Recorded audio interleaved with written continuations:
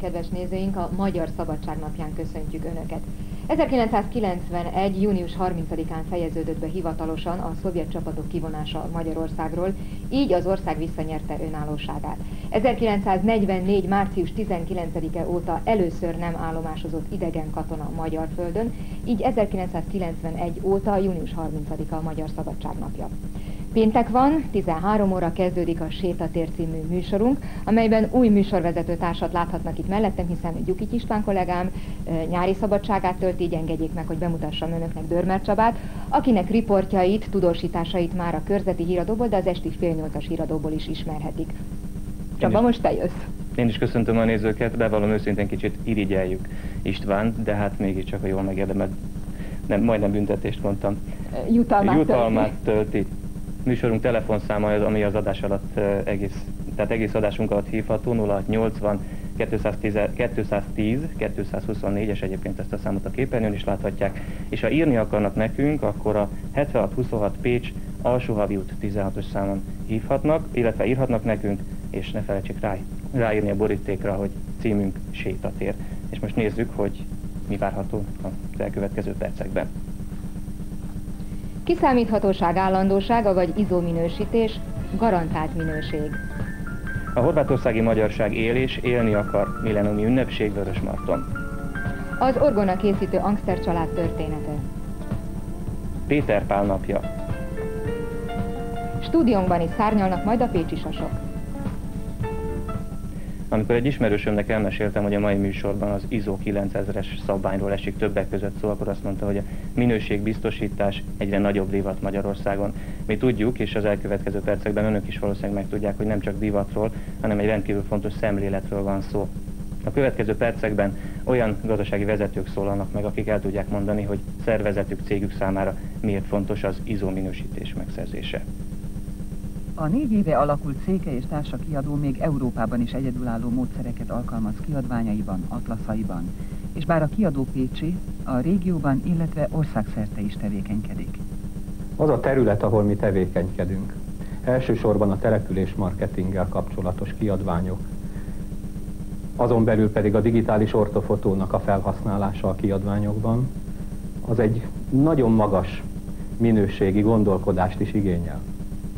Most ehhez a gondolkodáshoz bizony szükség van tettekre is. Az elveket a gyakorlatban megvalósítani nagyon nehéz. Különösen olyan helyzetben, ahol, ahol általában adhok jelleggel dolgoznak a cégek, a cégvezetők is, hát nem is beszélve az általános működésükről. Emiatt döntöttünk úgy, hogy az ISO minőségbiztosítást bevezetjük a cégnél, és lehetőség szerint partnereinktől is megköveteljük. A közel 50 éves Pécsi építő és tatarozó RT többek között műemléképületek, irodaházak, oktatási intézmények rekonstrukciójával, illetve új ipari csarnokok, bevásárlóközpontok, egyetemi előadótermek építésével foglalkozik. Az ISO minőség irányítás bevezetése nem volt kérdéses számukra. A közel egyéves folyamat harmadik hónapjánál tartanak most a minőségirányítási rendszer bevezetésével kapcsolatos döntésünket az egyre élesebb piaci versenyhelyzetben való sikeres működés érdekében hoztuk meg. Munkáink zömét közbeszerzési pályázatokon nyerjük el. Ezeken a pályázatokon értékes többletpontokat eredményez, és jelenthet az izotanúsítvány megléte. Ezen felül bizonyos összeghatáron felüli beruházásoknál a pályázatokon való részvétel feltétele az ISO tanúsítvány megléte. A tíz éve működő Pécsi Trakópécs Kft. kezdetben számítógépek forgalmazásával és javításával foglalkozott. Az utóbbi években meghatározóvá vált egyrészt számítógépes hálózatos rendszerek tervezése és telepítése, illetve vállalati belső hálózatok, úgynevezett intranetek bekapcsolása az internetbe, másrészt komputeres biztonsági és beléptető rendszerek kiépítése. Tavaly kértek és kaptak is egy az ISO minősítésre vonatkozó ajánlatot, mert elkerülhetetlennek tartják az ISO szabványon alapuló minőségirányítás bevezetését. Ennek ellenére napi szinten még nem téma a folyamatszabályozás megvalósítása, hiszen ehhez komoly személyi, tárgyi és anyagi feltételek szükségesek ezek a ráfordítások meg tudnak jelenni a szolgáltatásunk és termékünk árában. Tehát ezt a vevőnek tulajdonképpen meg kell fizetnie. Amint a piac erre vevőképes lesz, tehát ezt a felárat meg tudja fizetni, vagy a piac már nem fogadja el az ennél kinyújtott szolgáltatásokat és árukat, akkor rá leszünk kényszerítve és meg fogjuk tenni ezt a lépést. Az eddigi munka során nehézséget az jelentett számunkra, hogy az amúgy is leterhelt irányítási és adminisztratív apparátust további többletfeladatokkal nem tudjuk terhelni, ezért az ISO minőségirányítási rendszerben rendkívül fontos írásbeli dokumentálási kötelezettséget a lehető legszükségesebb és még elfogadható mértékre e, csökkentettük. Elvárják tőlünk a felkészítés során, hogy például színhelyesség, színterítettség mérésére szolgáló műszerekkel rendelkezzünk, amely műszerek megléte a nyomdák szükséglete. Itt a kiadónál mi nyomdászati munkát nem végzünk, ugyanakkor vannak olyan nyomdák is, amelyek kiesnek a mi rostánkon azért, mert ezekkel a műszerekkel nem rendelkeznek. Viszont a felkészítés során olyat is elvárnak tőlünk, hogy olyan műszereket vásároljunk, amelyek valójában a mi alvállalkozóinknál létszükségletként kell, hogy működjenek.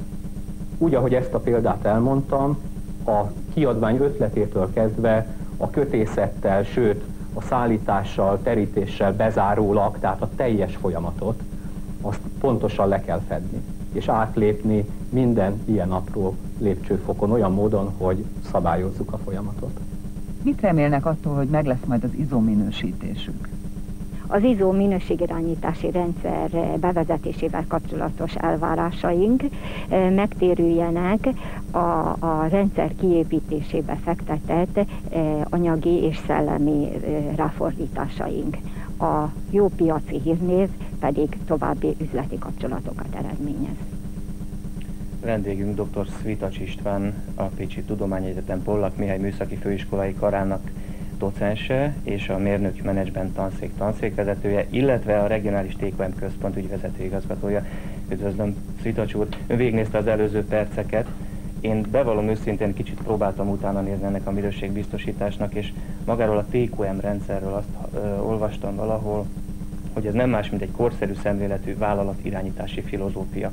A köztudat pedig, már amennyire akik ismerik az ISO rendszert és egyáltalán a minőség, minőségbiztosítást, minőségirányítást, úgy gondolják, hogy az, az nem más, mint a, a termék, egy adott termék állandó minőségére való törekvés. Én úgy érzem, hogy akkor ez ennél valamivel mégiscsak több. Igen, azt hiszem, hogy helyesen fogalmazott.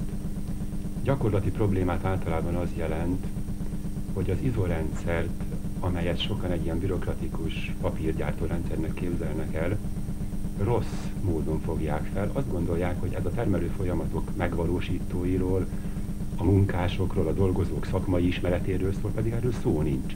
Az ISO rendszer az egy menedzsmentrendszer, elsősorban a vállalatvezetésnek a hozzáállását igényli, pozitív változást az előzőekhez képest, és hát természetesen mindennek megvan a kihatása a végeredményre, ami ott már valóban egy a fogyasztó igényeinek megfelelő, vagy azt, amikor felül is múlni képes termék állandó, folyamatos biztosítását jelenti. Itt szó esett arról, hogy ön a regionális TQM központnak a vezetője. Gyakorlatilag mit jelent egyáltalán az, hogy TQM, és mivel foglalkoznak? TQM, ez angol szavaknak a rövidítése, Total Quality Management, ebből a három szóból származik, magyarra úgy fordíthatjuk le, hogy teljes körű minőség irányítás. A izóval való összehasonlítására nagyon sokan kísérletet tettek a múltban is, meg próbálkoznak jelenleg is, nem sok sikerrel. Azért gondolom, hogy talán nem is érdemes ezt így, ilyen kontextusban tekinteni, mert a két dolog nem egymásnak ellentéte, hanem sokkal inkább kiegészítője. Az izó az egy rendteremtő, rendfenntartó, stabilizáló jellegű lehetőség, talán szabad ezt mondanom rá, a TQM ezen túllép, sokkal túllép, mert a fejlődés lehetőségeit is magába foglalja. Az ISO nem terjed ki a vállalat teljes tevékenység körére. Sokkal inkább csak a termelésre, a termelés környezetére. A TQM viszont érinti a vállalat minden folyamatát, abban minden személy, és sokkal, de sokkal nagyobb hangsúlyt helyez az egyén hozzáállására, az ő rendszert javító, jobbító, állandó tevékenységére. Tehát gyakorlatilag itt a szemléletmódról is Igen. szó van. alapvetően. A TQM nélkül én úgy gondolom nem létezhet ISO, ha jól fordítom le. Tehát, tehát ez a teljes körű minőség biztosítás, a teljes körű minőség menedzsment nélkül nem valósíthatja meg azokat az elvárásokat, amelyeket vele szemben támasztanak. Így van. Az ISO rendszer, és ezt megfogalmazzák vele, vádként, vele szemben vádként is sokszor, kicsit konzerváló jellegű. Talán az ezévi szabványmódosítások ezt feloldják valamilyen mértékben, hiszen abban már a vevői elégedettség mérése, a fejlesztésre való törekvés meg fog jelenni, de ez még mindig nem teljes körűen jelenik meg. Én azt hiszem, hogy az izónak a fejlesztési lehetőségeit jelenti a TQM, tehát ha valaki abban gondolkodik, hogy nem csak ma akar izórendszert működtetni, hanem tíz év múlva is, vagy még hosszabb távon is, akkor abban is gondolkodnia kell, hogy ezt a rendszert nem konzerválhatja, tehát fejlesztenie kell, tovább kell lépnie, és az TQM eszköztára nélkül ez nem lehetséges. Itt a, az önök bemutatkozó ö, írásában ugye azt olvasjuk, hogy a missziónk széles körben terjeszteni a minőségkultúrát, jelenleg és jövőbeni vezetőkkel megismertetni a TQM és vagy az ISO ö, rendszert, tehát van munka bőven, gondolom. És ö, mekkora a lemaradásunk, ha lehet esetleg egy ilyet röviden? Magyarország lemaradása relatíve nem nagy. Betudható ez talán annak, hogy maga az ISO szabványrendszer 1987 óta működik nemzetközi szabványként, ugye, ami csak 13 évvel ezelőtt volt, és hát Magyarország 1990 óta gyakorlatilag piacgazdaságot épít. Azonban a lemaradás onnan származik elsősorban, hogy az ISO rendszert és általában a minőségirányítási rendszereket, azokat nem válságkezelő rendszerként kell kezelni, hanem egy stabilizált, jól működő állapotnak a megtartására vagy javítására lehet őket használni. Azt hiszem ez az a téma, amiről még lehetne órákat is beszélni, és bizonyára akit érdekel a téma, szerintem fölhívja azt a telefonszámot, amin információt kérhet. Melyik ez a szám? A 211 032-es telefonszám, a 72-es körzetszámot kell elétárcsázni. Ez a Műszaki Főiskolai Kar mérnöki menedzsment tanszékének a központi száma. Szvita Csúr, köszönjük szépen. Köszönöm a meghívást.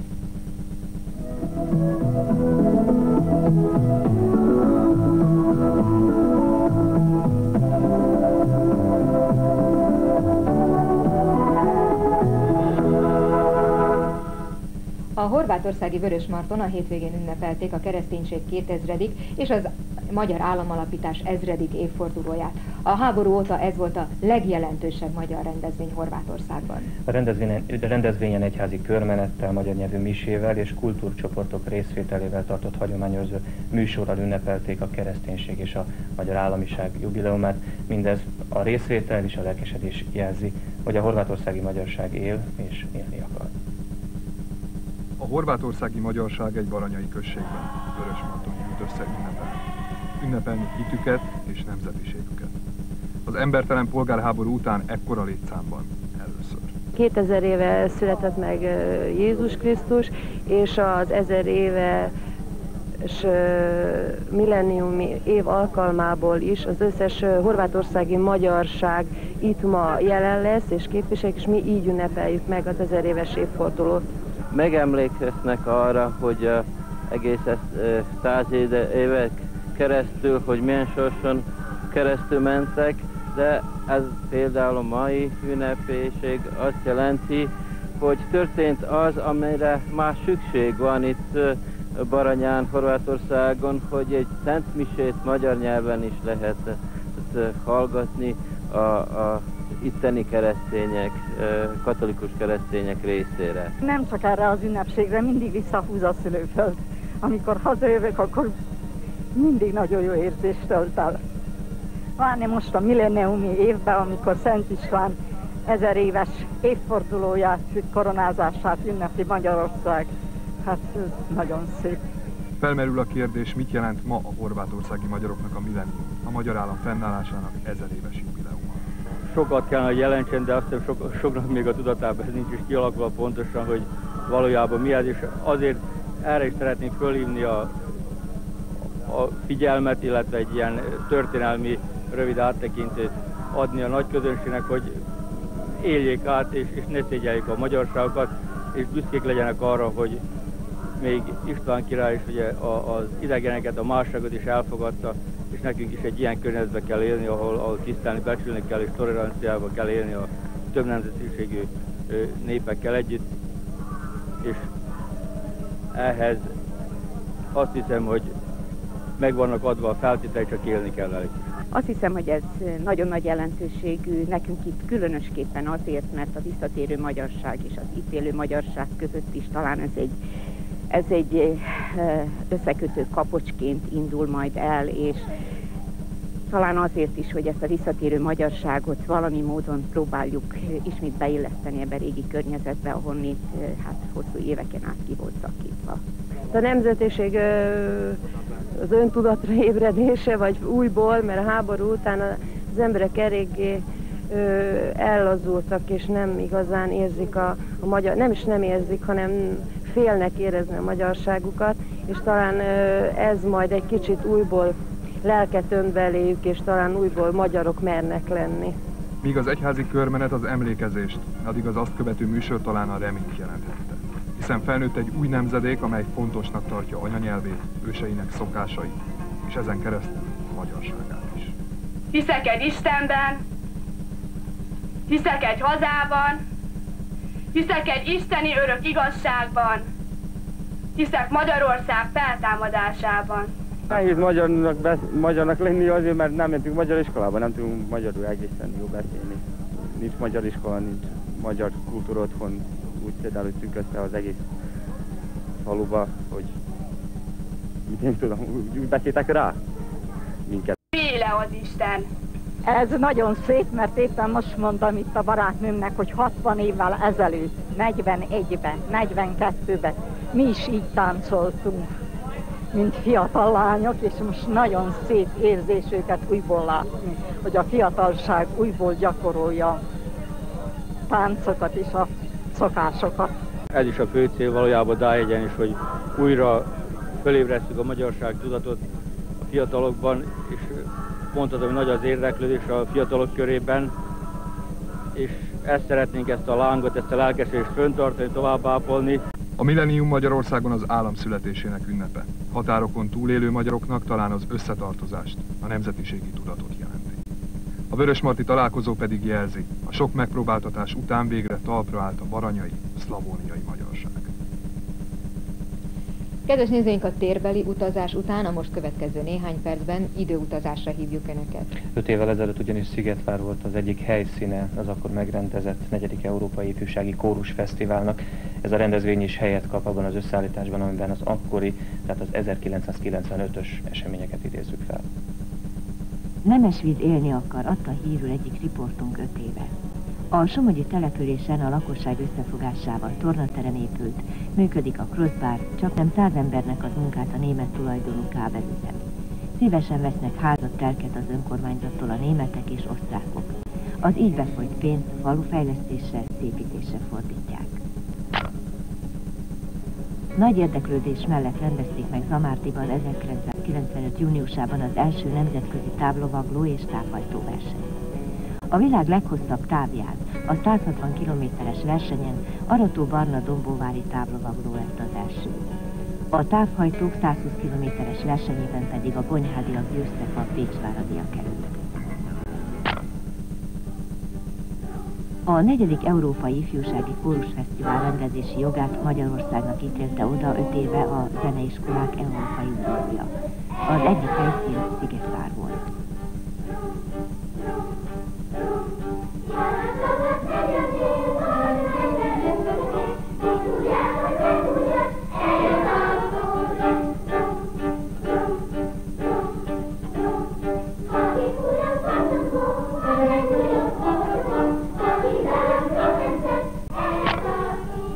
Baranyai és horvátországi művészek baráti találkozóját rendezték meg öt éve Révfalun. Színész, drámaíró, szobrász, szociológus, rendező, újságíró cserélt gondolatokat a szakmáról, de jutott idő főzési vetélkedőre, sportra, a baráti kapcsolatok elmélyítésére is. A háború utáni években kevesen merték vállalni, hogy a horvát tengerparton költsék nyári szabadságukat. A magyar turisták száma azonban évről. A következő képsorokkal búcsúzik erre a hétre az Ez történt című összeállítás. Jó nyaralást!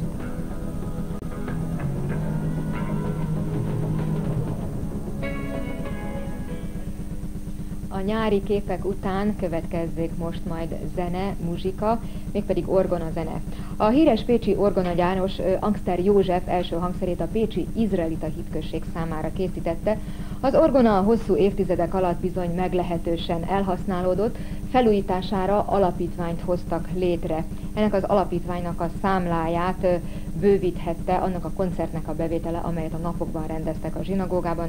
A fellépő művészek között szerepelt például Sümegi Eszter opera énekes és Sándor György opera énekes, az Indianapolisi zsidó hitközség főkántora is. Az Amsterdam első orgonáját még számos más követte Pécset és Európa szerte is. A család és a gyár történetét Angster József írta meg egy könyvben, és a következő percekben ő eleveníti fel ezeket. A pécsi Angster orgonagyárat Angster József alapította 1867-ben. Ahogy saját visszaemlékezéseiből és unokája könyvéből tudjuk, családi előzmények nélkül, de nagyon tudatos rákészüléssel történt mindegy.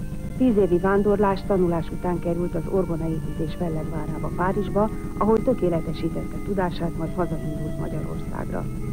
Párizsi mestere halálának századik évfordulójára kiadványt jelentettek meg, ahol a legjobb tanítványokat köztük Anszer Józsefet is megemlítik. Nagy meglepetésemre és örömömre szolgált, hogy az elmúlt év nyarán, illetőleg hát tavaszán kértek tőlem ennek a kiadványnak a számára anyagot. Ebben a kiadványban már szerepeltek azok a híres orgonák, amelyeket a gyáralapító Pécset épített. Az első a zsinagóga orgonája, a századik pedig a Pécsi Székesegyházé. Követték azután a, a különböző a, a kassai Székesegyház, a győri, akkor egy komoly állomás volt a budapesti Szent István Az első világháború előtt 40-50 orgonát készítettek évente. A második generációt a fiúk Emil és készítették. A 20-as években megint egy föllendülés jött, eljutottak egészen 30-ig, amikor a szegedi orgona, amely az országnak máig is a messze legnagyobb orgonája, és nagy hír vert vagy nagy ö, híre lett, a, például a Passzai Dómnak a európai hírű orgonastája is itt volt hangversenyezni, és megvan egy cikken a Szegedi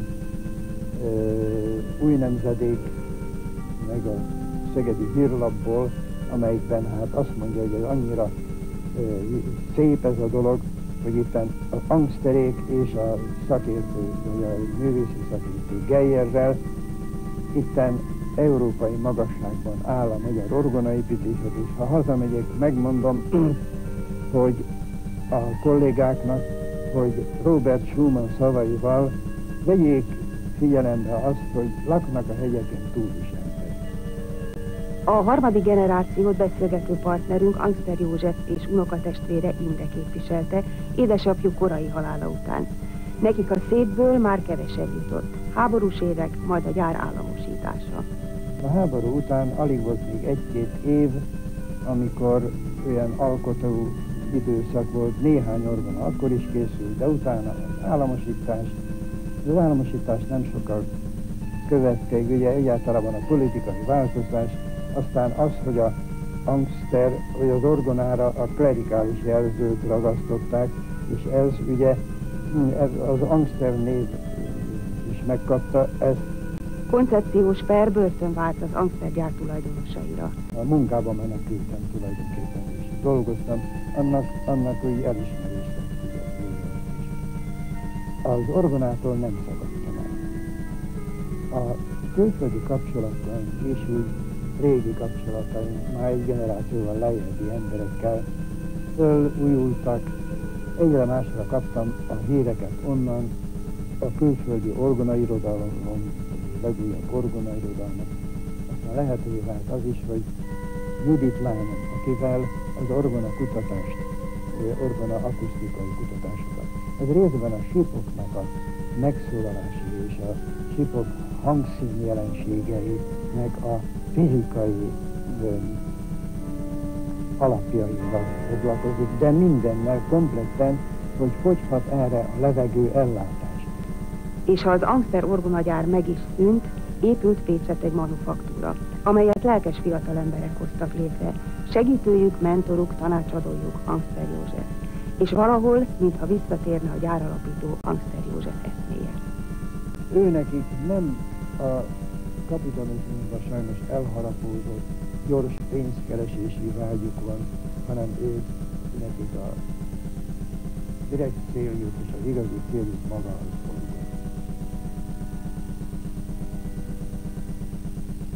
Bár idén a nagy meleg és az asszály miatt előbbre tolódott, de Péter Pál napját a köztudat tartja az aratás kezdőpontjaként. Most nézzük meg, hogy milyen szokások fűződnek még ez a naphoz. Péter és Pál közös ünnepükhöz illően igen gyakran szerepelnek párban. Valóban méltó és igazságos, hogy Péter az apostol fejedelem és Pál a népek térítő apostola egyaránt olyan kiemelt helyen szerepelnek a naptárban, amilyen a nyári napfordulóval kezdődő hónap. Péter Pál napja ősi ünnep, az aratás.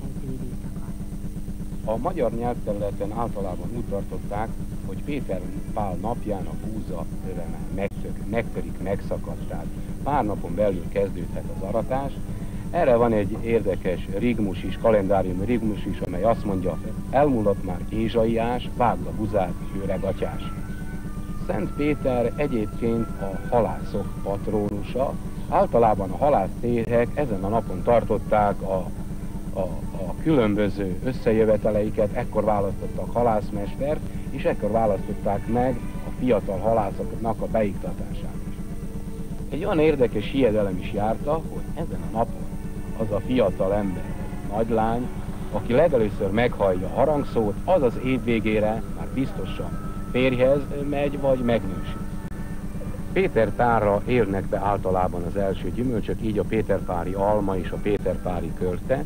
Érdekességként meg kell említeni azt, hogy az a szokás és az a hiedelem járta, hogy Péter Pál napja előtt késsel a gyümölcsöt nem szabad megvágni, mert ha megvágták, akkor biztos, hogy hatalmas zivatar, hatalmas jégeső kerekedik.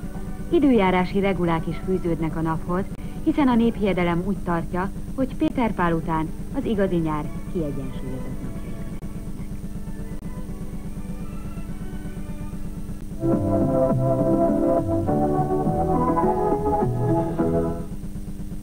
Kedves nézőink, stúdiónk vendégei lesznek a pécsi sasok, akik a közelmúltban megjelent Testörök című kazettájukat felajánlották ajándékként, így aki mai játékunkban nyer, az nem csak az 5000 forintos vásárlási utalványt nyerheti meg, hanem a képernyőn látható videókazettát is, amelyet a pécsi sasok dedikálnak.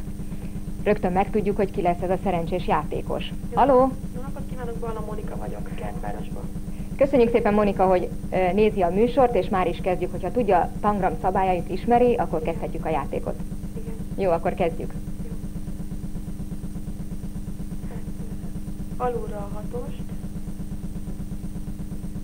Hova tegyem? Nem úgy, hanem úgy, nem, hanem úgy, úgy igen. Igen. Akkor a, a hármast tudom mellé. Egyest fölé.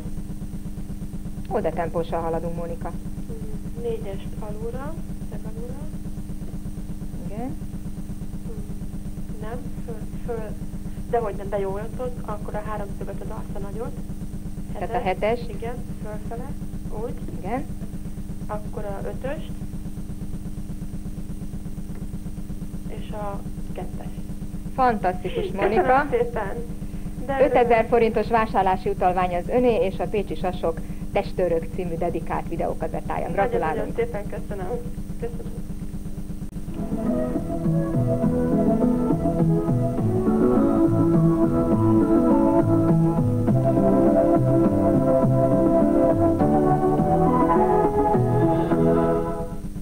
Én is gratulálok Mónikának, és akkor a játék után menjünk tovább, látogassunk el Orfűre, örökségünk sorozattal a Mecsek hegyháti üdülő vezet egyik gyönyörű településére.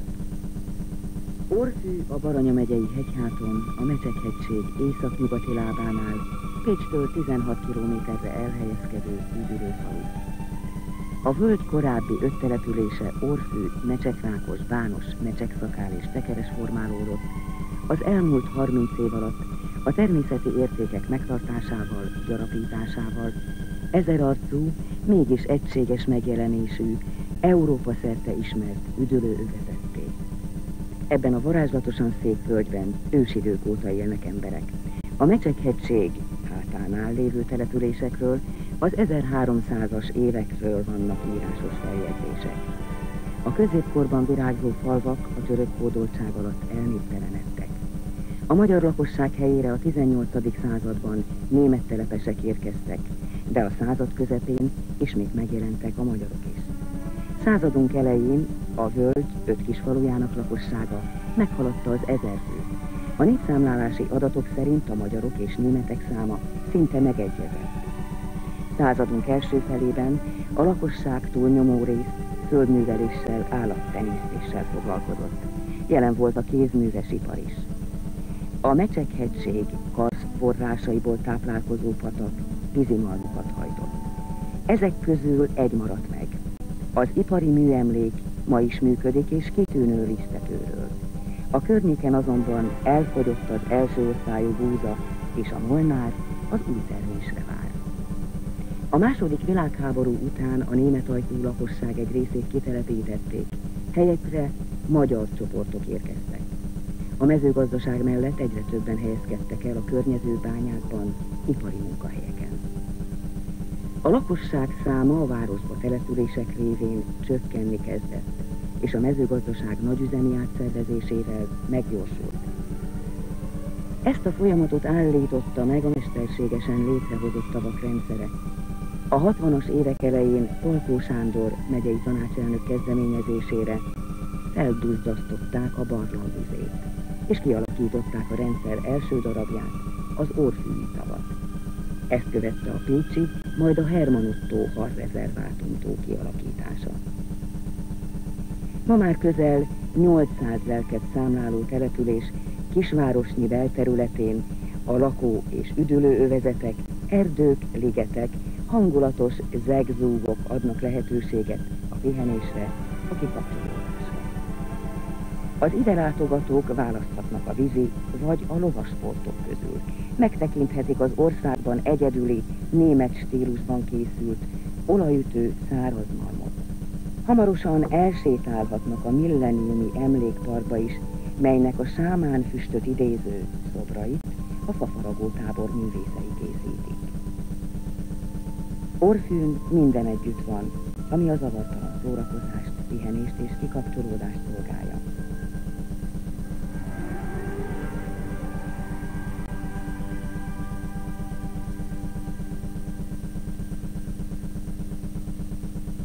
Maradjunk továbbra is Orfűn, ahol az első kanál kiállítás párhuzamosan mutatja be a múzeumi igényességgel összegyűjtött eredeti anyagot a ma dolgozó kézművesek munkáival. Ilyen kézműves például Frany János, Hajdagy és Zsigmond, Kőhidi Péter, Kőszegi László, Kőszegi István, Szatmári László, Szentkeresti István, valamint finn fafaragok, úgyhogy most ízelítő következik néhány kép erről a tárlatról. Thank you.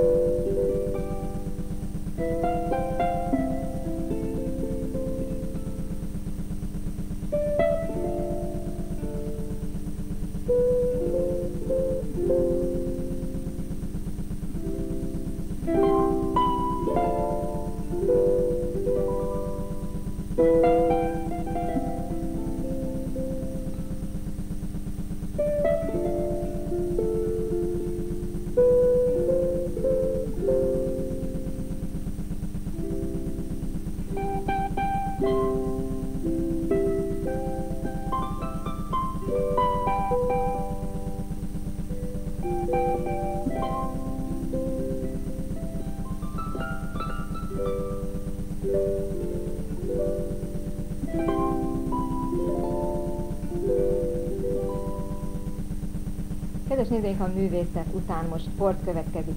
Kevés magyar sportoló büszkelkedhet azzal, hogy négy különböző világszövetség vagy világszervezet tagjaként világbajnoki címet tudhat magáinak. Nos, a most következő összeállítás főszereplői mindezt elmondhatják magukról. A helyszín Orlando, a produkció címe Szellemírtók.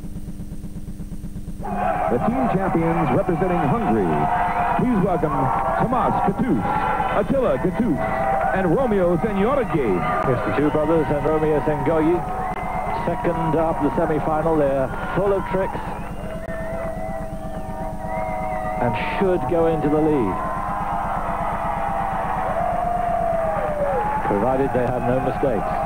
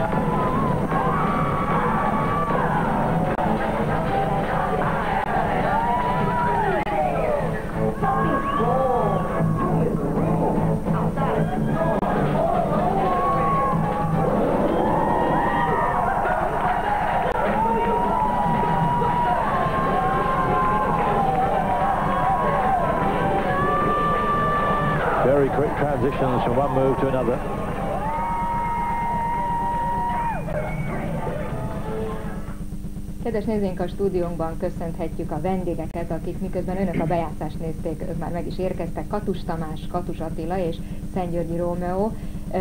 Együtt néztük meg egyébként ezt a bejátszást, és hogy tetszett nektek? Voltak hibák? Hát nagyon jó érzés nézni, mert igazából hétköznapokban nincs olyan az embernek ideje erre, hogy nézegesse saját magát, és mindig az ember visszagondol azokra a pillanatokra, amikor ez, ez a verseny volt, és tényleg ez egy önkívüli állapotban voltunk, talán lehetett is látni, mikor bejöttünk. És azt hiszem azért a, a szépség ennek a, a versenynek az volt, hogy, hogy mind az elődöntő és a középdöntő után is második nap fordultunk, és egy kis átalakítást csináltunk akkor még a gyakorlatban, a két a döntő előtt, és ennek az átalakításnak köszönhetően az egyik pontszámunk növekedett, és így tudtuk megverni az előttünk lévő korai csapatot a döntőbe, akkor végül is fordult a kocka, fordult a kocka igen.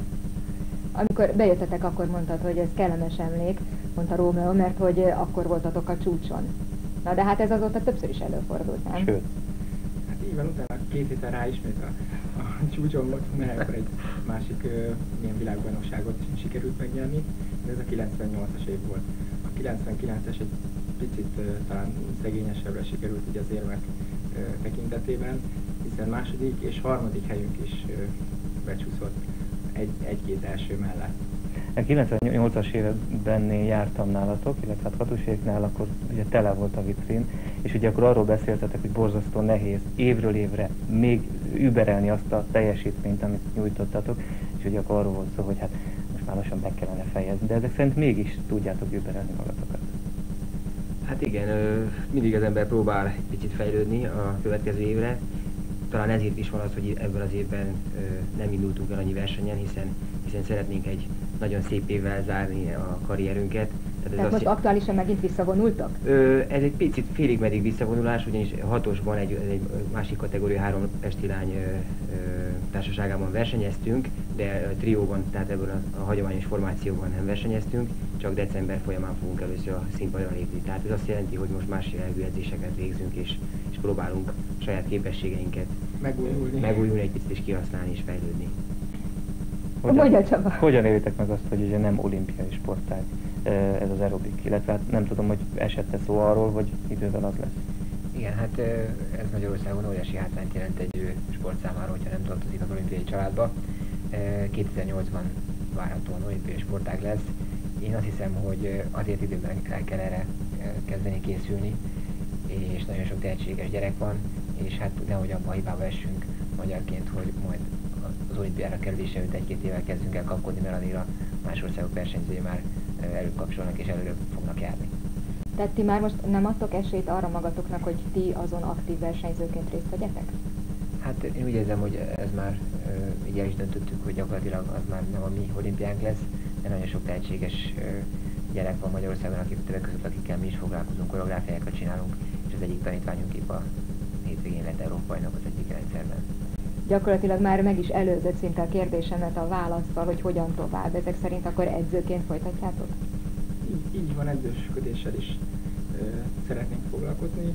Szeretnénk a, a megszerzett tudást és tapasztalatot átadni a gyerekeknek, és ő velük rajtuk keresztül talán kijutni az olimpiára és edzőként részt venni. Hát emellett még azért próbálunk még, hiszen ez aerobik szerencsére egy olyan sportág, amelynek van egy versenyváltozata és egy, és egy fitness irányvonala, éppen ezért már, már most próbáljuk képezni magunkat abban az irányban is, hogy, hogy a, az átlag emberek számára is próbáljunk valamit átadni ebből a tudásból. Éppen ezért, a játékban már lehetett látni, készítettünk is egy videókazettát, és, és, és ez, ez az egyik irányvonal, amelyben szeretnénk tudományos tapasztalatokat, amiket mások már egyszer kidolgoztak, illetve a saját gyakorlati tapasztalatainkat összetéve próbálunk a mások számára is hasznos kutatást adni. Tehát egyfajta oktatófilm? Igen, igen, tehát az az, az érdekesség a, a igen, az az érdekesség a kazettának, talán is abban más, mint a, a hazai piacon található a többi kazetta, hogy itt ö, egy picit oktató jellegű, tehát nem csak az, hogy mutatok valamit, de nem árulom el, hogy miért csinálom, és nem is avatom be a, a, a vendéget. Itt van az, az, a kazetta elején egy 5 perces ö, magyarázat, hogy amit csinálunk, az a zsírégetésről szól, és ennek mi a táplálkozásban és a mozgásbeli ö, ö, vonzata. Tehát, hogy ez milyen összefüggések vannak, és ez, ezért nagyon ö, hasz, ezért találjuk nagyon hasznosnak ezt a kazettát, mert, mert érti az ember, hogy mit csinál, mit csinál és képzi magát, és ez a továbbiakban nagyon fontos. Zsírégetésről most pont képeket láthatunk. Ez éppen nem a kazetta anyag, ez egy régebbi edzésfelvétel.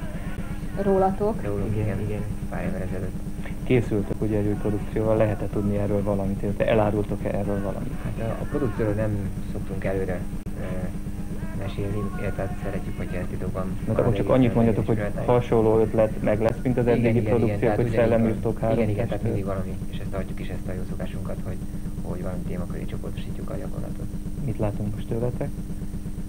Hát egy bemutatót szeretnénk kedveskedni, ez nem is egy versenygyakorlat lesz, de egy, egy rövid táncos produkció, ami azért közelít a versenygyakorlathoz, de, de nem tartalmaz olyan elemeket, mint a, a verseny amíg ti átöltöztök, akkor addig, addig a nézőknek egy kis programajánló következik, illetve én előzetesen ajánlom az Aranykagyló nevet viselő 9. Nemzetközi Folklór Fesztivált, amely Siófokon veszi kezdetét július 4-én és egészen 9-ig tart, és akkor az elkövetkező percekben Schmidt Andrea további dél programokat ajánl önöknek.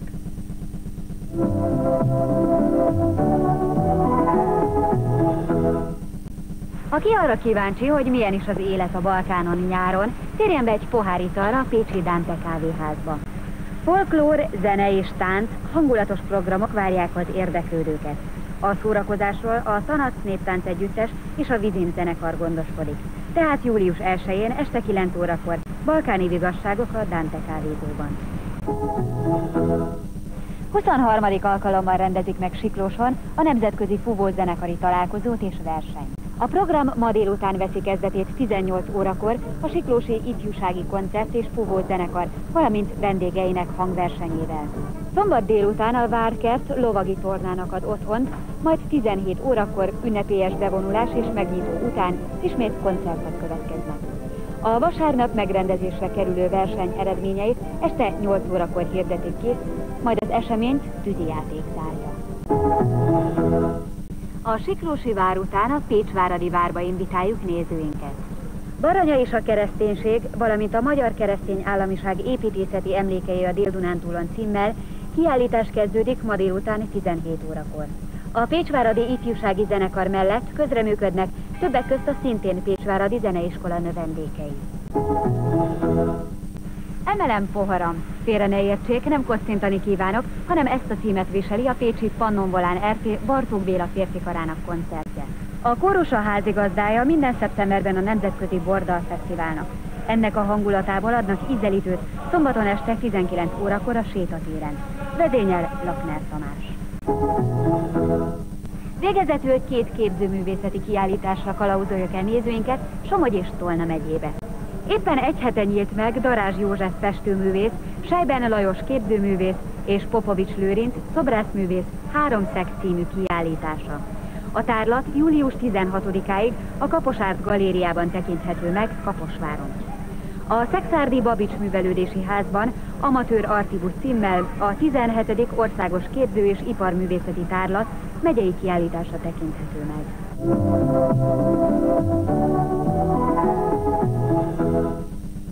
Kedves nézőink, amíg önök végignézték a programajánlót, a fiúk már fel is készültek. Ajánlom figyelmükbe Katus Tamás, Katus Attila és Szentgyörgyi Rómeó produkcióját. ötszörös világbajnok Pécsi Sasok következnek. Five bad boys with a power to rock you. Blowing your mind, so you gotta get into. Five, what you waiting for? If you wanna three, three, two, two, one, let's do it. Let's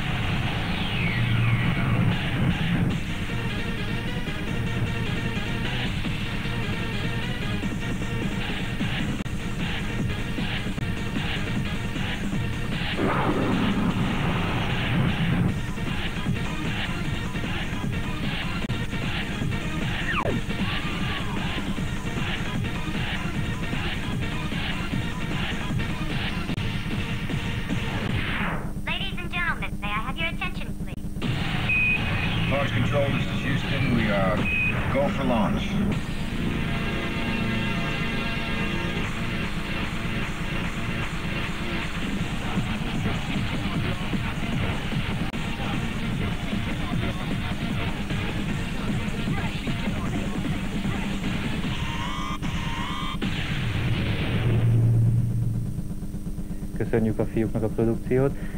Mondtam közben Anikónak, hogy az a fura az egészben, hogy mi az orlandói produkciót végighallottuk a lányok és a nézők sikoltozását, őzivagását, itt ez hiányzott, de én azt hiszem a nézők otthon mindezt pótolták. Valószínű így volt, minden esetre mi itt a helyszínen nagyon élveztük, nagyon tetszett ez a produkció is nekünk.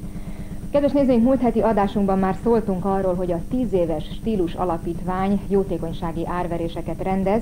Most Roberto Baggio, az Inter kiváló labdarúgója vállalt fővédnök, fővédnökséget abban az akcióban, amelyben világhírű sportolók mezeit, dedikált fotóit, labdáit kínálják árverésre. Például az adományozók között szerepel Niki Lauda, Alberto Tomba, Robi Baggio, és a tegnap focizott, vagy mérkőzésen bizonyára látták az olaszoknál Francesco Tottit is. A stílus alapítvány javára a felajánlásokat a képernyőn látható telefonszámon közölhetik még vasárnapig, ez a 061 275 11 66-os szám. Hogyha egyébként információra van szükségük, akkor is ezt a telefonszámot hívják, a részletekről tájékoztatják önöket ezen a telefonszámon a Stílus Alapítvány munkatársai. Sajnos, kedves nézőink, véget ért a mai műsorunk, megköszönjük már a megtisztelő figyelmüket, és szeretnénk elmondani azt, hogy legközelebb egy hét múlva pénteken, de akkor már júliusban ismét várjuk Önöket a képernyők elé a Sétatér című magazin műsorral. Köszönjük figyelmüket, viszontlátásra! Viszontlátásra!